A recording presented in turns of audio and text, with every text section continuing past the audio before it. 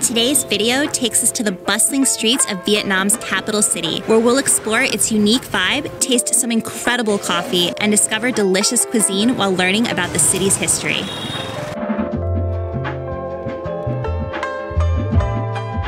After a less than ideal 13 hour bus ride from the ancient capital of Hue, we arrived early in the morning and settled into our hotel. Despite our plans to visit the iconic train street for coffee, the guards had another idea. We tried to unsuccessfully go to Train Street, but there are guards at the gate saying, no, no, no, you can't go through. How do we go? there was a nice gentleman, though. I think he's one of the coffee shop owners. Come back about 9 p.m. 9 p.m.? That's when the train actually comes through, but it is what it is. It's so weird, though. Yeah. You think they'd let you go when there's not danger. All right, where do we eat? With our coffee date thwarted, we changed plans and decided to search for some delicious food recommended by our friends. We're gonna go to a place called Pho Kun Tran Hong that our friends Brandon and Anya recommended to us to try some dishes that we've never tried before.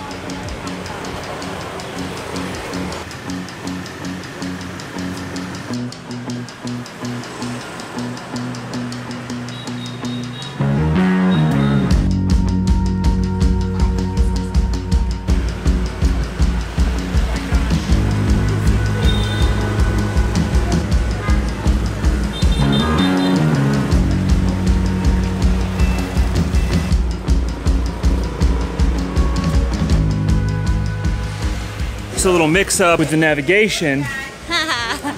Ashley had it on driving direction, so we were like, oh, eight minute walk. No big deal. Easy. It was like a 30 minute walk. In the hottest part of the day. And it's the hottest day that we've had. It's 38 degrees. But we're on an island, which is pretty dope. And we're only one minute away. So little victories. Oh, here it is. And there's a little puppy to welcome us. Bye bye. There's more. Oh my gosh.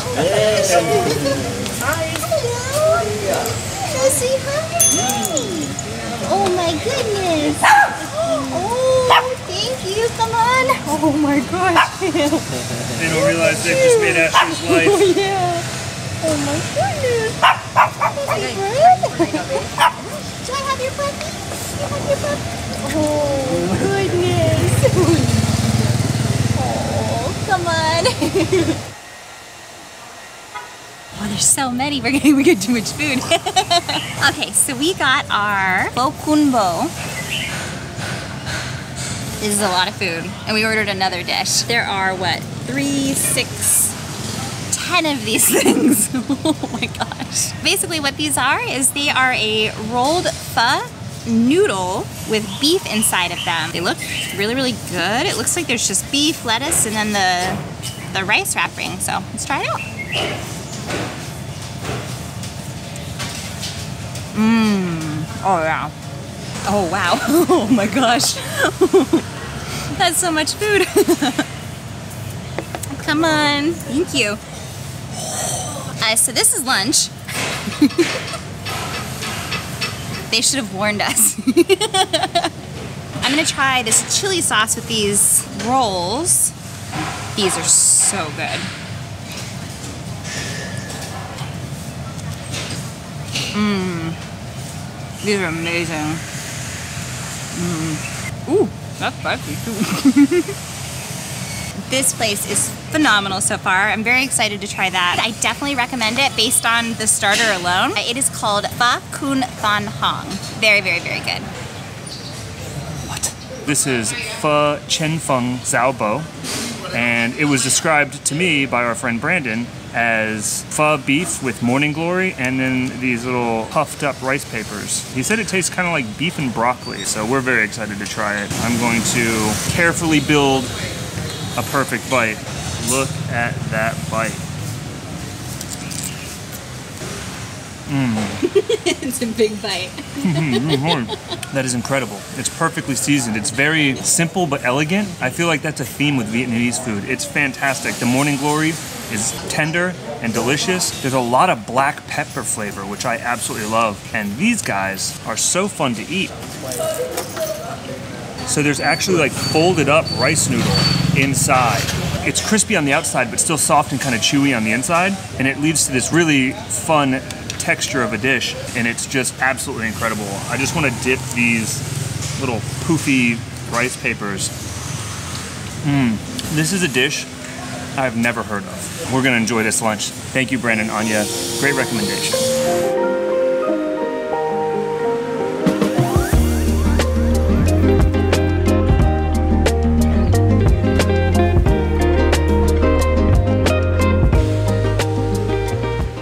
We just met the two kindest guys. They asked us to sit down and share some traditional tea with them. It was so nice. We were just sitting on the curb, just chatting, and I don't know, it was just a really, really lovely experience. It's like the reason you travel.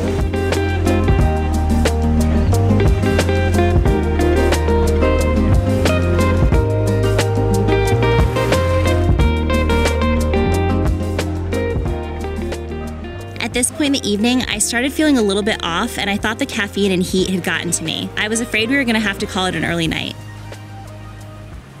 It's such a beautiful day, and the breeze is finally out, so I'm not ready to give up yet. I'm gonna drink this water and hopefully feel better. That way, we can keep exploring.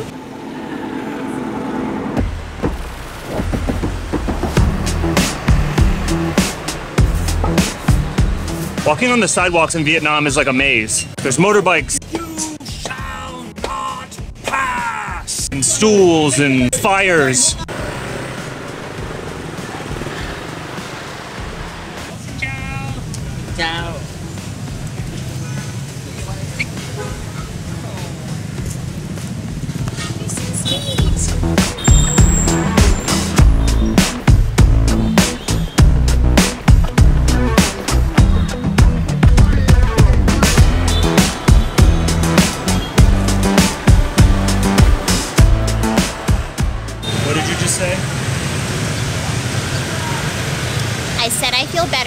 Better because I drank water.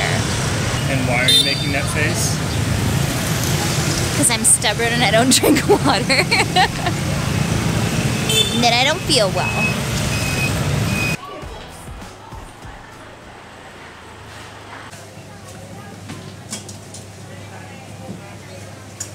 Oh, those are the this uh, the worm things, I think. Okay. They smell delicious. Would you eat one? Yeah, probably. Did you get one from there? Why not? It's called cha roi, cha roi, or a sandworm omelet. They're apparently very, very, very rare uh, because the because the sandworms, I guess, are like harvested in the fall, No, try one. like right now. Really? Okay. All right. These might be sandworm pancakes, which smelled delicious if they were, and if they're not, they still smell delicious. So I'm gonna go see what they are and probably buy one and try it either way. I feel like it's gotta be better than like just silkworm, right? Yeah, probably. Yeah, okay. I'm just... Yeah. Yeah, yeah. Uh, about you? Uh,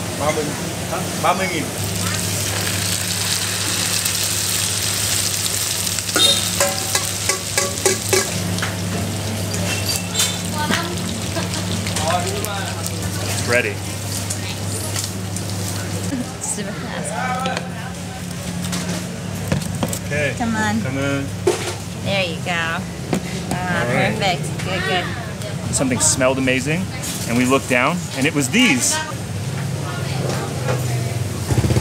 It's not bad at all. It's very dilly. It has like a little bit of fishiness, I guess. It tastes like a very herbal, herby, herbaceous, whichever word of those is the appropriate word, frittata. It was 30,000 dong for one. I've added a healthy amount of chilies, some lime. We're gonna put some of this fresh dill and cilantro. All right, we're gonna try it all dressed up and ready to go. Oh, it's got noodles in it. Oh, interesting. Unless that's sandworm. Yeah. It tastes like lime and chilies and cilantro. Looks good. All right, let's do this. Đủ chưa? Đóng hết cửa ngoài sân vào, hôm tối bay vào nhà. Bay đầy này. Very flavorful. Yeah, it's not bad. It reminds me of a pickle. Never, ever did I think I would be in Vietnam eating worm pancakes. but very happy about it. It does taste pretty good. And here we are. We went from like, oh, we're gonna call it an early night and go home to worm pancakes in an alley. So if you're feeling sick in Vietnam, worm pancakes and water, and you're right back at it. Yeah. All right, we're next. To go. Ashley is the worst with directions. I don't know why I put her in charge of it. That away and then Oh yeah, because she has the SIM card.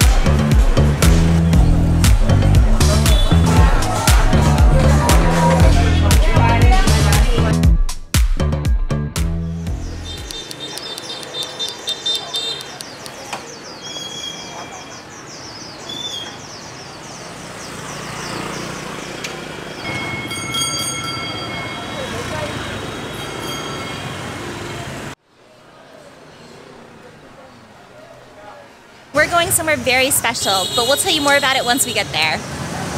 Ashley thinks it has to be this big lead up, but we're going to get egg coffee, and I'm excited. From a very cool historic place. It's the first place that ever made egg coffee.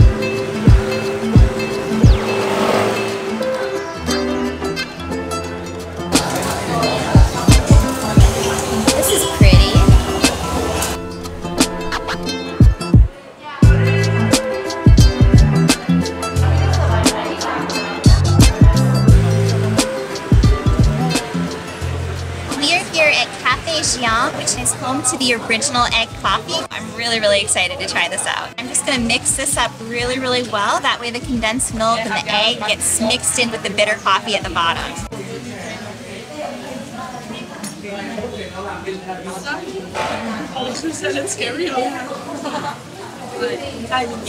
That is amazing. It is so creamy. It's a really good cup of coffee. The reason for creation of this drink in the first place was because there was a dairy scarcity back during the first Indochina War between Vietnam and France. The original founder of this cafe was creative. He worked at a hotel bar, I believe, and he used his ingenuity to mix ingredients like butter, sugar, cheese, and egg to kind of create a frothiness to cut the bitterness of the Robusta bean, which is the bean traditionally grown here in Vietnam. Because if you've ever tried Vietnamese black coffee, it's not for the faint of heart.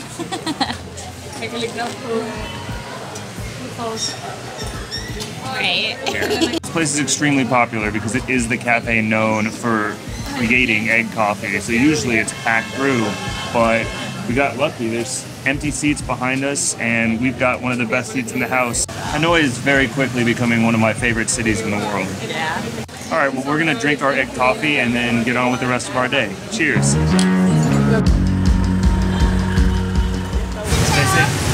much for one and one? Five thousand for one. You want to do two? Yeah. Yeah. Okay. Yeah. One and one, please. Come on. Thank you. We were just walking by this little stand and we got some bunzan. Come on.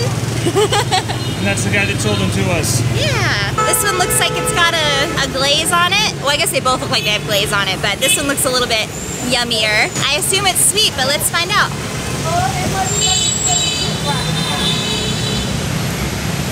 Oh my god. Give me this thing. Mm, that is an amazing donut. If they were like made fresh, oh.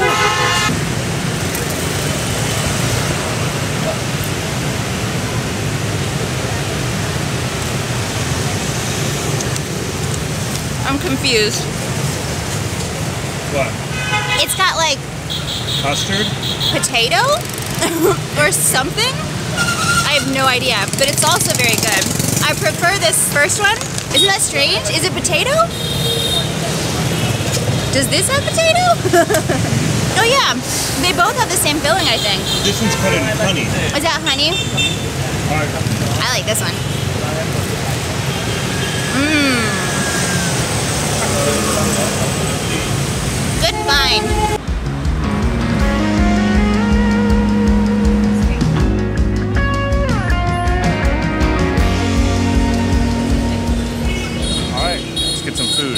Since our friends Brandon and Anya didn't lead us astray yesterday for food, we decided to try another one of their recommendations. We're gonna try Banh Cuon today, and we are at a restaurant called Banh Cuon Jiak Shrine.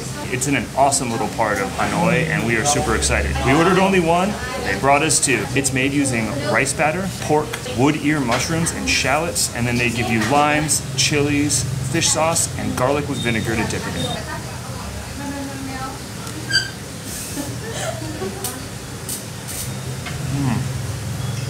It's really good, but the vinegar and the garlic really does something to enhance the flavor of the fish sauce. It's almost like luncheon meat, like a like like a ham. And then you get crisp from the garlic, the chewiness of the rice paper, and the in the filling, the mushroom. I guess it's just mushroom, but the filling's incredible. I'm glad that it's not like a plate as tall as we got yesterday of that rolled pho. All right, so my turn to try this. I'm a little bit nervous. I'm not a huge fan of mushrooms. I have no idea if I've ever had a wood ear mushroom before, but we'll try it out. So Mike said this is pretty spicy because he put fresh chilies in it, but I'm usually okay with spice. This is what it looks like. Oh, Come on. come on. Put it on top. Thank you. I love that they're showing us how to do it. Yeah, come on. That's great. So she put a little bit of, uh, what is this, cilantro? Looks like there's a little bit of dill in there maybe too. Yeah. Oh no! there. Mm. Oh. Mm-hmm. Changes the game. Mm-hmm. Yeah, I really like these. And I like this. Is this fish sauce? It is. All right. We're back.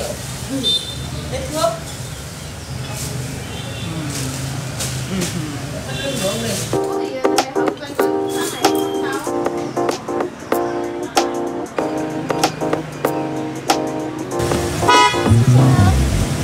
finished up our lunch and hopped into Grab. Lunch was amazing. Each portion was 35,000 dong. We got a water, which was 10,000 dong. So the total lunch came out to only 80,000. And now we're on our way to the Hoa Lo prison, which was commonly referred to as the Hanoi Hilton by the American POWs during the American War or the Vietnam War as we know it.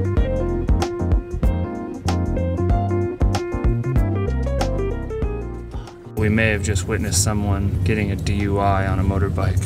There was a couple police and they had the little breathalyzer thing. And our grab driver here was like, oh. Don't drink and drive.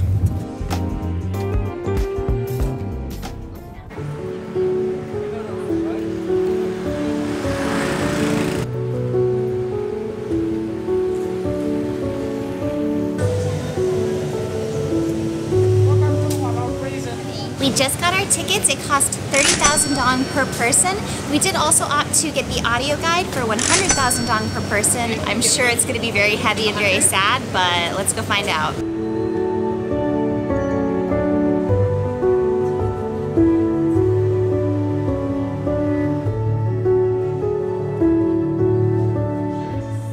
This is one of the cells that the prisoners were kept in. It's only meant to hold about 40 people, but during certain times it could hold up to 100.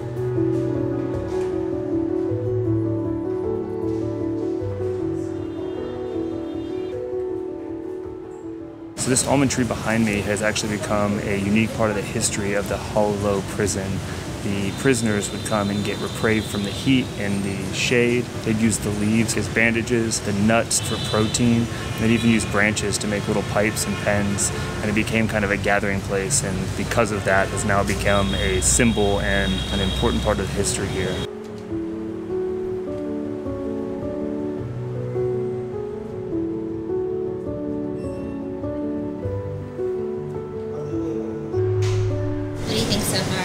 It definitely does a good job of painting the picture and setting the scene, I guess. Definitely think it's worth coming to. If you're in Hanoi, it's a very integral part of the history here.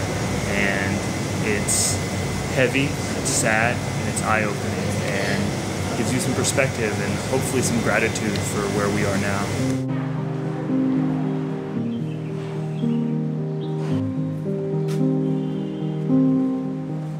Site behind me here is a beautiful memorial that was actually erected in honor of all the people who died here at the Maison Central and was originally the location of the guillotine. There's this giant art piece on the wall, there's a memorial, and a little, I guess it looks like an offering oven. I honestly don't know what it's called, but it's similar to the things I see on the street that people are, you know, burning the gold leaf paper in.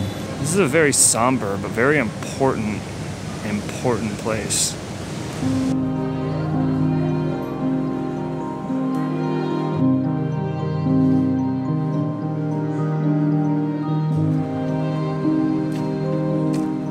How do you feel after all this?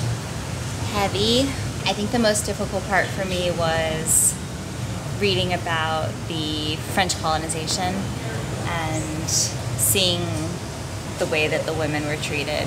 It's like everybody was treated horribly, but I guess maybe because I'm a woman, it hits me a little bit harder. But to know that they had their children with them, I can't imagine that level of, of pain. And they, you know, they were innocent. Like their mothers may have been revolutionaries, right? But their children weren't. And so the fact that their children were in prison was, was hard.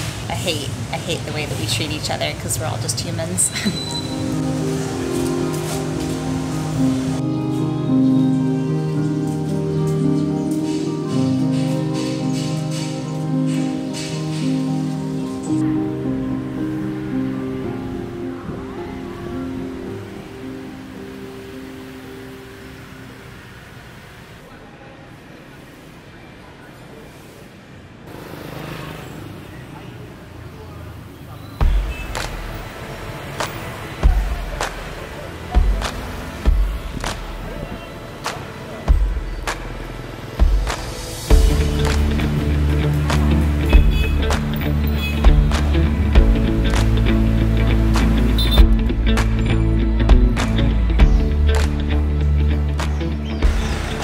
What better way to end the day than with a bowl of pho?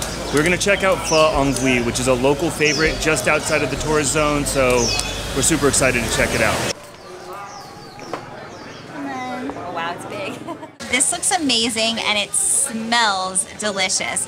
We also got these awesome little donuts, which I'm super excited to try. I don't think we've had these in Vietnam yet. This place only serves one thing, which is beef pho. They don't have a menu. We walked up and she was like, two pho. It's gonna be hot. Oh man. Is it good? Mm. Yeah. This is a game changer. This might be my favorite pho. I don't even want to talk about it anymore. I'm just gonna eat. Yeah, this So- is incredible. Yeah. Bye. We've had an amazing 48 hours in Hanoi and it's definitely not been enough time. But if you like this video or you found it useful, please go ahead and give us a like and we would absolutely love it if you subscribe to us. We're gonna head back to the hotel because we are exhausted and we have a super early day tomorrow because tomorrow we're going to Halong Bay.